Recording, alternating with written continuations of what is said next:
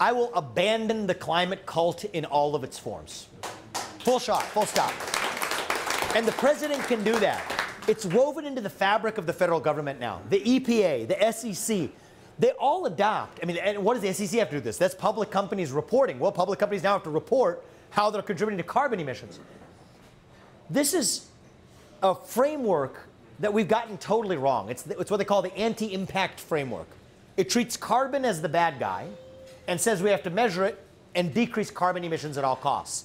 That has shackled the American energy sector, and that is the number one obstacle to GDP growth in this country. I personally think that both parties are playing small ball when it comes to how to deal with the deficit tax cuts, tax increases versus spending cuts.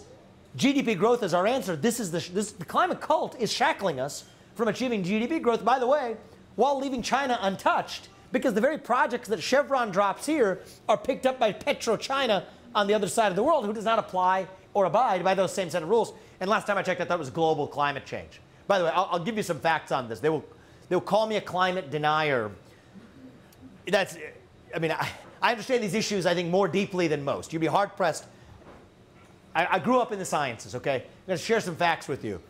Eight times as many people die of cold temperatures as warm ones every year. The right answer to all temperature related deaths is more abundant access to fossil fuels. The Earth is covered by more greenery today than it was a century ago because carbon is plant food. Turns out plants like to actually grow in a higher carbon environment.